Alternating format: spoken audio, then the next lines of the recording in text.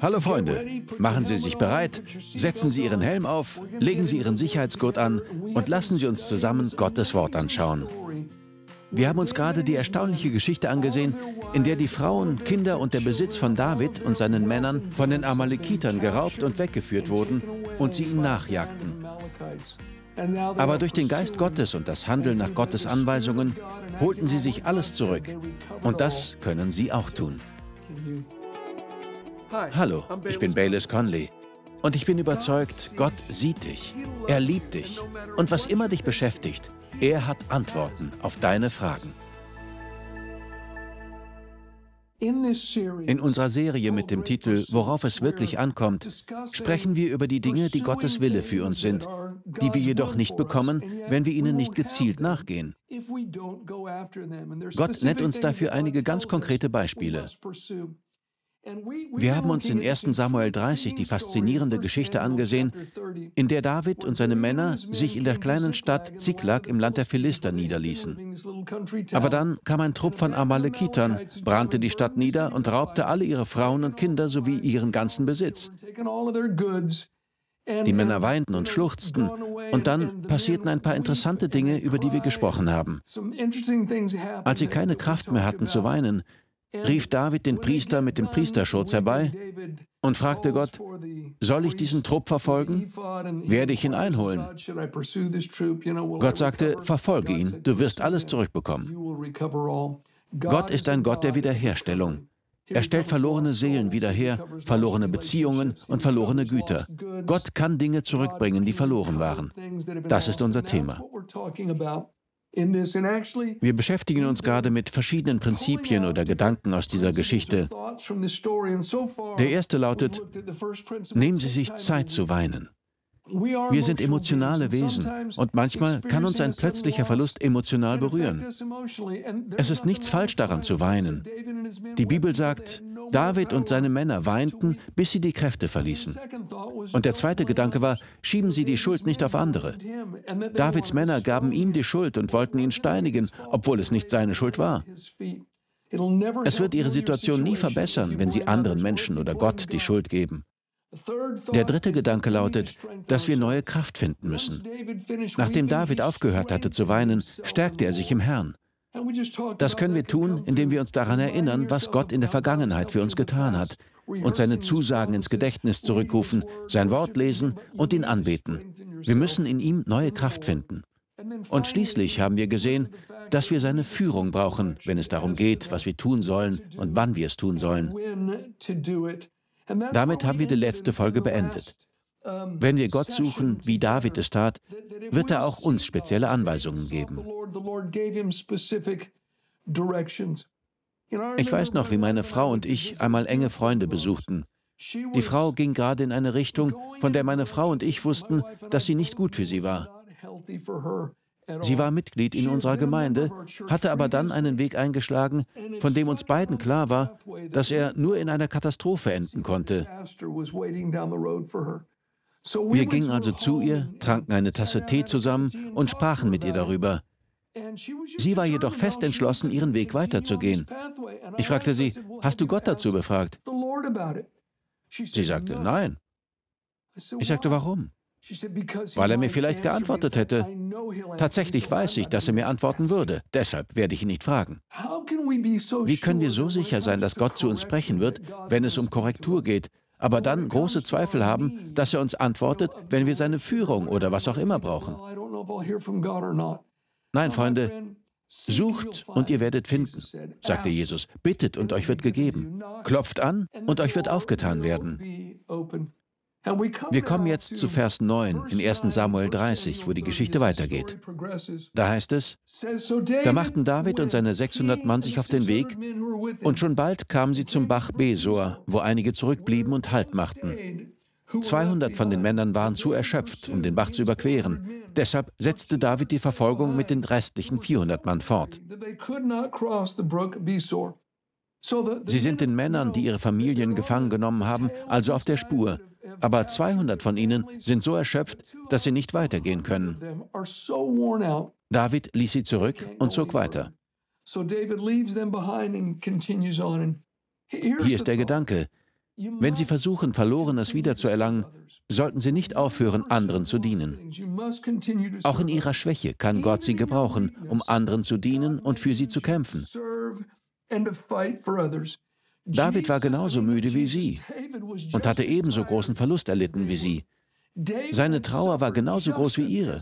Seine Probleme waren sogar noch größer, weil er jetzt diese Männer führen musste, die kurz davor standen, ihn zu töten. Gerade erst hatten sie davon gesprochen, ihn zu steinigen.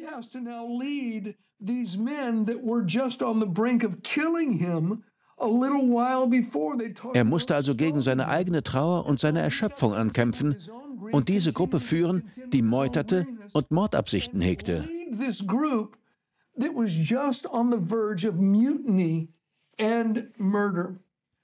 Hören Sie, selbst wenn Sie schwach und ratlos sind, wird Gott Sie gebrauchen, um anderen zu helfen. All jene, die in der Leiterschaft sind, sollten mir jetzt gut zuhören. Es ist so wichtig, dass Sie das verstehen. Erwarten Sie nicht, dass die Menschen ihre Bedürfnisse berücksichtigen. Die meisten von ihnen denken nur an ihre eigenen Bedürfnisse. Die meisten, nicht alle. Sie dürfen sich nicht darüber ärgern, dass sie nicht darüber nachdenken, ob sie vielleicht gerade selbst zu kämpfen haben oder müde oder erschöpft sind. David grollte diesen Männern nicht. Er war bereit, auch die zweite Meile zu gehen und für sie zu kämpfen. Gott wird sie gebrauchen, wenn sie schwach sind und Probleme haben, nur um zu zeigen, dass nicht sie es sind, von denen die Hilfe kommt. Ich hatte einmal einen engen Freund, der inzwischen schon viele Jahre im Himmel ist. In den 1950er Jahren führte er in den USA große Zeltevangelisationen durch. Als wir eines Tages zusammen zu Mittag aßen, erzählte er mir, dass er einmal sehr erschöpft war. Er hatte sich vor etwa 10.000 Menschen in dem Zelt das Herz aus dem Leib gepredigt und dann bis in die frühen Morgenstunden Tausenden von Menschen die Hände aufgelegt und für sie gebetet. Er war so müde. Er wollte nur noch in sein Hotelzimmer und in sein Bett fallen. Er war körperlich wie seelisch müde. Wenn Sie ein Pastor sind und intensiv predigen, wissen Sie, wovon ich rede. Er hatte gepredigt und den Menschen gedient und jetzt fühlte er sich wie ein ausgewrungener Spüllappen. Und er sagte, als er in das Auto steigen wollte, das ihn zum Hotel bringen sollte, durchbrach eine Frau die Sicherheitsabsperrung, ergriff sein Hosenbein und schrie, ich bin geheilt, ich bin geheilt, Gott hat mich geheilt. Er dachte, was zum Kuckuck geht hier vor sich? Er sagte, ich war so müde und war genervt, dass die Frau kam, um für sich beten zu lassen oder was auch immer. Und siehe da, Gott heilte sie. Mir wurde klar, dass diese Begebenheit mich davor bewahrte, meinen Dienst zu verlieren. Ich war an dem Punkt angelangt, an dem mich genau die Menschen nervten, denen ich dienen sollte, weil sie nichts von meinen Bedürfnissen und meiner Müdigkeit wussten und nur immer mehr von der Gabe wollten, die Gott auf mein Leben gelegt hatte. Das brachte mich schwer ins Nachdenken. Ich erinnere mich noch an einen langen, anstrengenden Aufenthalt in Australien. Ich hatte in einigen Gemeinden und auf einer Konferenz gesprochen. Nach meinem Rückflug in die USA litt ich unter Jetlag und war müde. Aber der Einzige, dem ich daran die Schuld geben konnte, war ich selbst. Ich hatte auch die Einladung angenommen, in Deutschland zu predigen, und so flog ich nur wenige Tage später nach Europa. Ich sprang von einer Zeitzone in die andere und war müde, und zur Krönung des Ganzen kämpfte ich mit einer Erkältung und fühlte mich nicht gut. Ich predigte in verschiedenen Städten und war so erschöpft, so müde, geistig wie körperlich. Mann, ich spürte Gott überhaupt nicht.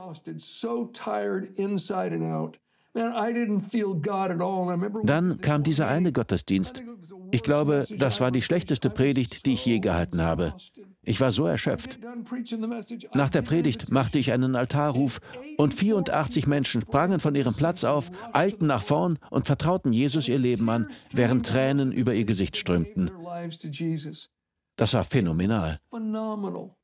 Und ich hatte das Gefühl, als würde Gott sagen, hey Bayless, nur zur Erinnerung, nicht du bist das, ich bin es. Der Apostel Paulus sagt in 2. Korinther 12, Vers 10, Deshalb habe ich Wohlgefallen an Schwachheiten, an Misshandlungen, an Nöten, an Verfolgungen, an Ängsten um Christi willen. Denn wenn ich schwach bin, dann bin ich stark. Vielleicht gehen Sie gerade durch eine große Prüfung, durch große Schwierigkeiten. Vielleicht sind Sie finanzieller Natur oder Sie kämpfen um Ihre Gesundheit. Hören Sie, Gott kann Sie auch in dieser Zeit Ihrer Schwachheit gebrauchen, um die Nöte anderer zu stillen, sie zu stärken und zu ermutigen. Deshalb nochmals, vor allem an die Leiter. Ich möchte Sie ermutigen, seien Sie nicht verbittert oder ärgerlich auf jene, denen zu dienen Sie berufen sind. Nur sehr wenige Menschen werden erkennen, dass auch sie Nöte und Schwierigkeiten haben, dass auch sie familiäre oder finanzielle Probleme haben. Sie sehen die Gabe Gottes auf ihrem Leben und wollen davon profitieren. David hatte eine Gabe auf seinem Leben. Und wissen Sie was? In der Zeit, in der er Kummer hatte und müde war und die Männer ihn beschuldigten, diente er ihnen trotzdem und kämpfte für sie. Und die Geschichte endet damit, dass sie alles zurückbekamen. Sie bekamen ihre Frauen und Kinder und ihren Besitz zurück. Aber wenn David verbittert gewesen wäre, weil diese Männer ihm die Schuld an allem gaben und ihn steinigen wollten, weil sie nicht begriffen, dass er mit ihnen im selben Boot saß und er nicht beschlossen hätte, ihnen zu dienen und die richtige Herzenshaltung zu bewahren, würden wir hier nicht lesen, dass David alles zurückgewann. Der nächste Punkt, mit dem wir uns jetzt beschäftigen wollen, ist absolut faszinierend und sehr wichtig. Er lautet, seien Sie offen für Hilfe aus unerwarteten Quellen. Freunde, Gott ist der Gott von einer Million Wegen und einem Weg, einer Milliarde Wegen und einem Weg, einer Trillion Wegen und einem Weg. Sie können Gott mit Ihrem Schubladendenken nicht begrenzen. Erwarten Sie, dass Gott Ihnen aus unerwarteten Quellen Antworten gibt. Er ist ein erstaunlicher Gott. Er befiehlt das gesamte Universum. Darüber werden wir gleich sprechen. Sie werden keinen Moment verpassen wollen. Nochmals, der nächste Gedanke aus dieser Geschichte lautet, seien Sie offen für Hilfe aus unerwarteten Quellen.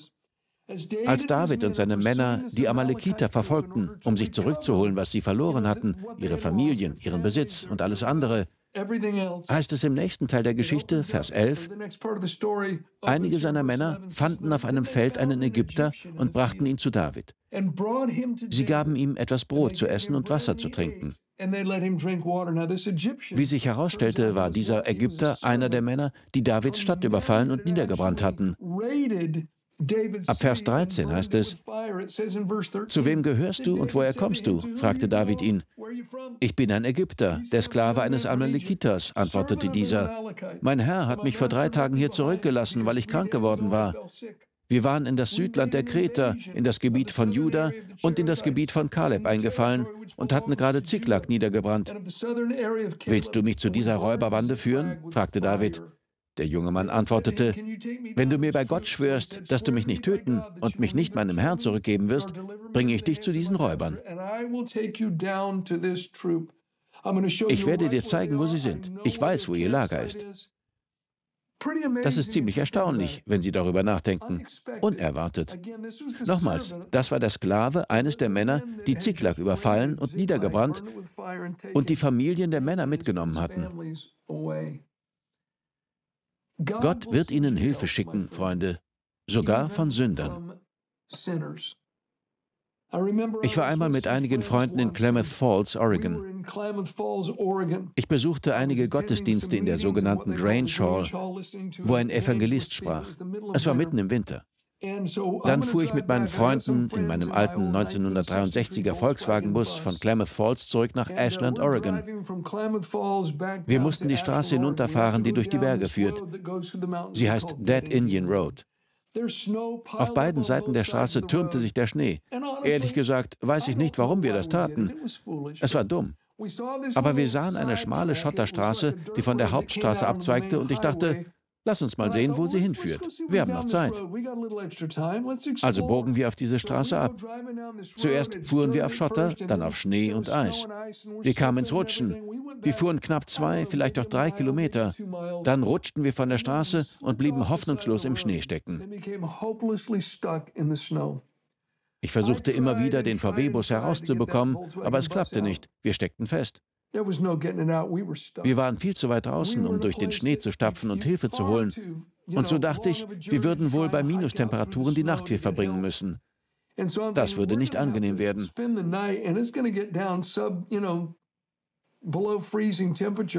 Und ich weiß noch, dass ich Psalm 107 las. Ich saß im Bus, hatte die Bibel auf das Lenkrad gelegt und las im Psalm 107, wie die Menschen in ihrer Not zu Gott riefen und er ihnen antwortete. Die Menschen waren aufgrund ihrer eigenen Dummheit in Not geraten und sie schrien zu Gott und er antwortete ihnen und half ihnen. Ich las den ganzen Psalm und schloss dann meine Bibel. Ich legte meinen Kopf auf das Lenkrad und sagte etwas wie, Gott, du hast diesen Menschen geholfen. Ich schreie jetzt zu dir und bitte dich, uns zu helfen. Ich glaube nicht, dass du uns hier feststecken lässt. So lautete im Wesentlichen mein Gebet. Etwa zehn Minuten später hörten wir Lärm und sahen, dass ein Truck mit Allradantrieb auf uns zukam. Darin saßen vier Männer, die allesamt betrunken waren. Wahrscheinlich ist es sogar gut, dass sie fuhren, weil sie zu betrunken waren, um zu laufen. Als sie uns erreichten, streckte einer von ihnen den Kopf aus dem Fenster und sagte, hey, was ist los? Ich sagte, Mann, wir stecken fest, könnt ihr uns helfen? Er sagte, sicher. Sie banden den Bus an ein Seil fest und zogen ihn aus dem Schnee. Ich sagte zu dem Mann, weißt du was, ihr seid eine Gebetserhörung. Ich habe Gott gerade gebeten, uns Hilfe zu schicken, und ihr seid die Antwort. Er sah mich so schockiert an, als hätte ich ihm einen nassen Fisch ins Gesicht geschlagen. Dann stiegen sie wieder in den Truck und fuhren die Straße hinunter, während sie lachten und leere Bierflaschen aus dem Truck warfen. Gott schickte Hilfe aus einer unerwarteten Quelle. Als Gemeinde hatten wir über die Jahre hinweg einige sehr unerwartete Verbündete, manche von ihnen gerettet, manche nicht. Inzwischen haben wir das Gebäude, in dem wir gerade filmen. Wir haben einen schönen Campus mit 13,5 Hektar, auf dem einige großartige Gebäude und Plätze sind. Es ist wunderbar, was Gott getan hat. Aber wir mussten hart darum kämpfen. Die Sanierungsbehörde der Stadt hat versucht, uns das Land wegzunehmen und wir waren jahrelang in Rechtsstreitigkeiten verwickelt. Es war nicht lustig, vor Gericht zu sein und die Sache zog sich scheinbar ewig hin. Auch die örtlichen und überregionalen Zeitungen waren alles andere als nett zu uns. Sie druckten regelmäßig Lügen und Fehlinformationen über die Gemeinde. Das ist einer der Gründe, warum ich den Medien nicht vertraue. Ich weiß aus eigener Erfahrung, dass sie keine Skrupel haben, zu lügen und Geschichten zu drucken, die ihre eigene Agenda stützen.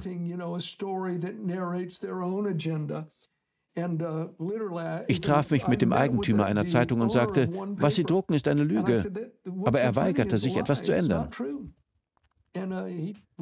Selbst nachdem vor Gericht die Wahrheit herauskam und er sie kannte, änderte er seinen Kurs nicht never repented, never, never changed what he was doing. So, Während dieser Zeit hatten wir Christen, die uns halfen, aber einige unserer treuesten Unterstützer waren tatsächlich keine Christen. Das ist wirklich wahr. Gott gebrauchte Menschen aus verschiedenen Bereichen, manchmal auch in kritischen Momenten, um mir einen sehr ermutigenden Brief zu schreiben und vor Gericht für uns auszusagen. Und es war ganz erstaunlich, was Gott tat. Er gebrauchte sowohl Menschen aus seiner Familie als auch Menschen, die nicht zu seiner Familie gehörten. Erwarten Sie Hilfe von Gott aus unerwarteten Quellen. Gott hält das Universum auf seinen Fingerspitzen, Freunde. Er kann jeden Weg und jeden Kanal benutzen, den er will. Manchmal denken wir, die Hilfe muss von hier kommen oder das ist der einzige Weg und weigern uns woanders hinzusehen und vielleicht zu erkennen, was Gott tut oder tun will. Noch eine Anmerkung. Ich bin sicher, dass unter Davids Männern einige dachten, wir müssen diesen Ägypter töten. Er war dabei. Er verdient es zu sterben. Aber sie gaben ihm zu essen und zu trinken. Sie zeigten ihm Freundlichkeit. In Römer 12, Vers 20 heißt es, wenn nun dein Feind hungert, so speise ihn. Wenn ihn dürstet, so gib ihm zu trinken. Und wenn du das tust, wirst du feurige Kohlen auf sein Haupt sammeln. Manche der größten Gegner des Evangeliums wurden durch Liebe gewonnen. Tatsächlich sollten sie keine Brücken zwischen sich und anderen Menschen niederbrennen, solange das nicht bedeutet, dass sie von der Wahrheit oder von ihren Überzeugungen abweichen müssen. Brennen Sie keine Brücken nieder, denn Sie wissen nie, wann Sie diese Brücke vielleicht werden überqueren wollen oder wann Gott Sie über diese Brücke versorgen will.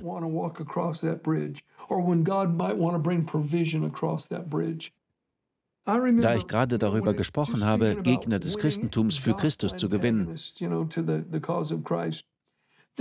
es gab mal einen Mann, der ein Haus in der Nähe unserer Gemeinde hatte. Wir hatten damals sehr viele Gottesdienste, ganze neun am Wochenende, sieben davon an einem Ort und zwei wurden live an andere Orte übertragen. Die Besucher mussten parken und zur Gemeinde laufen. Dieser Mann war sonntags morgens immer in seinem Garten und schikanierte die Menschen. Meistens war er schon zu früher Stunde betrunken, schrie die Leute an, beschimpfte und bedrohte sie und machte eine große Szene. Ich trat meinen Parkplatz in der Gemeinde ab, damit jemand anders dort parken konnte. Ich kam immer schon früh, parkte weit weg und ging den Rest zu Fuß. Der Mann kannte mich nicht. Er sagte, oh, Sie sind einer dieser Christen. Ich sagte, ja. Gehen Sie in diese Gemeinde? Ja. Er sagte, wenn Sie ein wahrer Christ wären, würden Sie meine Mülltonnen hinausbringen. Ich sagte, sicher, wo sind Sie? Ich ging in seinen Garten, holte seine Mülltonnen und stellte sie an den Bordstein, wo sie dann geleert würden. Er war schockiert, dass ich das tat. Ich sagte ihm noch ein paar freundliche Worte und ging dann meines Weges. Ein anderes Mitglied unserer Gemeinde ging ebenfalls dort vorbei und wurde von dem Mann beschimpft. Da sagte er zu ihm, hey, Sie haben schöne Rosen. Der Mann sagte wirklich, kommen Sie in den hinteren Garten. Und er zeigte ihm seinen Garten hinter dem Haus. Dieses Gemeindemitglied war einfach freundlich zu ihm. Eines Sonntags sagte er zu dem Mann, hey, Sie sollten mit in die Gemeinde kommen. Er ging mit und wurde gerettet. Er vertraute Jesus sein Leben an. Er kam auf mich zu, weinte wie ein Kind und sagte, es tut mir so leid, dass ich Sie neulich angeschrien habe. Ich war nur so zornig und habe die Menschen angeschrien, weil ich mich fürchtete. Ich spürte ihre Wahrhaftigkeit und sie machte mir Angst. Deshalb bin ich auf sie losgegangen. Ich wusste nicht, dass Sie der Pastor der Gemeinde sind. Es tut mir so leid. Und er weinte und weinte. Das war eine ziemliche Szene, aber er hatte Jesus sein Leben anvertraut. Und was ihn für das Evangelium gewann, war Freundlichkeit. Es passiert Gutes, wenn Sie sogar Ihren Feinden freundlich begegnen. Jemand sagte einmal, die einzige Kerze, die man an beiden Enden anbrennen sollte, ist die Kerze der Freundlichkeit. Und natürlich ist unser größtes Beispiel für Freundlichkeit der Herr Jesus Christus selbst. Gott ist so freundlich zu uns. Es gab Menschen in meinem Leben, die mich verspottet oder betrogen haben. Ja, das kam vor. Das ist ein Teil der menschlichen Existenz. Wenn ich daran denke, wie Menschen Lügen über mich verbreitet haben, hasse ich das. Ich mag das nicht, aber dann denke ich daran, dass Jesus für mich starb, als ich ein Sünder war. Ich denke daran, dass er gnädig zu mir war, als ich es nicht verdiente. Die Bibel sagt, wir sollen lieben, wie Christus uns geliebt hat. Wir sollen vergeben, wie Christus uns vergeben hat. Für David und seine Männer kam also Hilfe aus einer unerwarteten Quelle. Und sie kam, weil David einer Person, die eigentlich sein Feind war, Freundlichkeit zeigte. Am Ende der Geschichte lesen wir, dass David und seine Männer alles zurückerhielten. Es fehlte nichts, klein oder groß. Sie bekamen alle Söhne und Töchter zurück und nichts war beschädigt. David bekam alles zurück. Freunde, wir dienen einem Gott der Wiederherstellung. Ich glaube, das zeigt sich am deutlichsten durch Jesus und was er für uns getan hat. Wir waren für Gott verloren und Gott sandte seinen Sohn mit der Aufgabe der Wiederherstellung und Rettung. Und er erfüllte sie, damit unsere verlorene Beziehung mit Gott wiederhergestellt werden konnte. Hören Sie zu, Römer 9, Verse 30 bis 33. Was wollen wir nun sagen? Dass die Nationen, die nicht nach Gerechtigkeit strebten, Gerechtigkeit erlangt haben, eine Gerechtigkeit aber, die aus Glauben ist. Israel aber, das einem Gesetz der Gerechtigkeit nachstrebte, ist nicht zum Gesetz gelangt. Warum? Weil es nicht aus Glauben, sondern als aus Werken geschah. Sie haben sich gestoßen an dem Stein des Anstoßes, wie geschrieben steht, siehe, ich lege in Zion einen Stein des Anstoßes und einen Fels des Strauchelns, und wer an ihn glaubt, wird nicht zu Schanden werden. Wenn Sie versuchen, durch religiöse Rituale, einen Prozess der Erleuchtung, persönliche Opfer oder durch Einhaltung des Gesetzes gerecht vor Gott zu stehen, werden Sie niemals Erfolg haben. Das gelingt nur durch den Glauben an Jesus. Ich versuchte immer wieder ein neues Leben zu beginnen, aber ganz gleich, was ich tat, es veränderte mich innerlich nie. Ich sang, ich besuchte religiöse Festivals und suchte Erleuchtung. Ich versuchte, mein Bewusstsein durch den Konsum von Drogen zu erweitern. Ich hungerte nach der Wahrheit. Und meine Reise brachte mich schließlich zu Jesus und seinem vollendeten Werk. Einem Werk, dem ich nichts hinzufügen konnte. Der Versuch, sich ohne Jesus Erlösung oder Gottes Vergebung zu verdienen, ist wie eine Kerze zu entzünden, um der Sonne beim Strahlen zu helfen. Seinem Werk kann nichts hinzugefügt werden. Wenn Sie gerecht vor Gott stehen wollen, müssen Sie Ihr Vertrauen auf Jesus setzen. Schieben Sie Ihre guten Werke und jeden Gedanken, sich Ihre Erlösung, was die richtige Beziehung mit Gott bedeutet, verdienen zu können, beiseite. Diese erreichen Sie nur, indem Sie an Jesus glauben und Ihr Vertrauen auf ihn setzen. Es gibt keinen anderen Weg. Vielleicht haben Sie dem Retter noch nie Ihr Herz geöffnet. Hören Sie, Sie können sich Ihre Beziehung mit Gott nicht verdienen. Sie bekommen sie nicht durch Singen oder Opfer. Der einzige Weg, wie Sie in eine Beziehung mit Gott kommen können, besteht darin, dass Sie Ihr Vertrauen auf seinen Sohn Jesus setzen. Und wenn Sie es noch nie getan haben, öffnen Sie doch jetzt Ihr Herz und sprechen Sie das folgende Gebet mit mir. Ich kann Ihnen nur die Worte vorgeben, aber wenn Sie sie aufrichtig zu Gott sagen, glaube ich, dass er Ihnen begegnen wird. Beten Sie einfach jetzt mit mir. Sagen Sie laut, Oh Gott, ich glaube von ganzem Herzen, dass Jesus Christus dein Sohn ist. Ich glaube, dass er für meine Sünden starb und von den Toten auferweckt wurde. Jesus, ich bitte dich jetzt, in mein Leben zu kommen. Ich bekenne dich als meinen Herrn und Retter. Und von diesem Moment an, Jesus, will ich gehen, wohin du mich führst. I will go.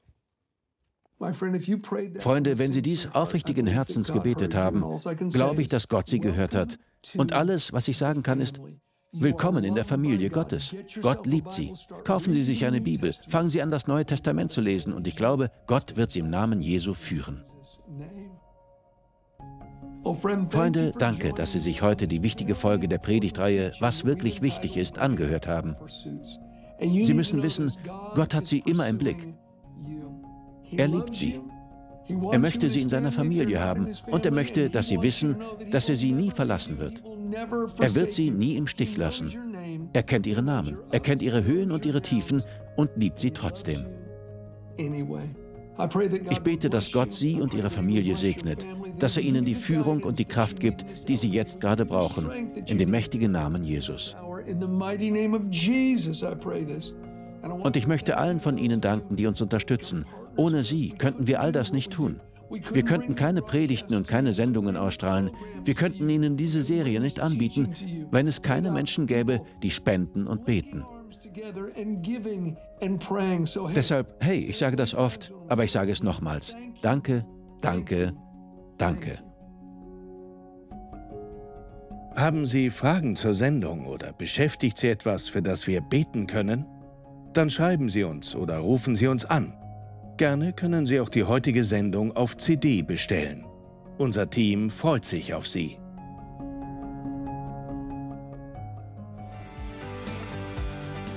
Möchten Sie die Predigten vertiefen und über Antworten mit Baylis Conley auf dem Laufenden bleiben? Dann abonnieren Sie den kostenlosen Monatsbrief von Baylis als E-Mail oder Postbrief. Gott segne Sie.